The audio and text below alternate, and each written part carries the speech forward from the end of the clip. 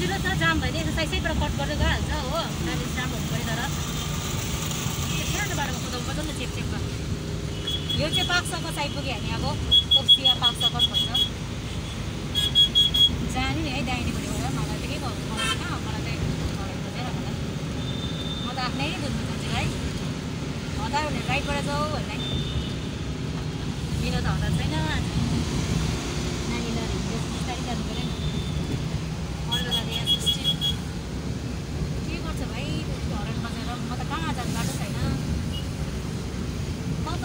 गाडीको नियम चाहिँ अचम्मै छ हो बिना मतलब हर्न बजाउँछ हो अब साइड दिने जग्गामा अब साइड दिनु साइड त आफै घुम्दै पो जानु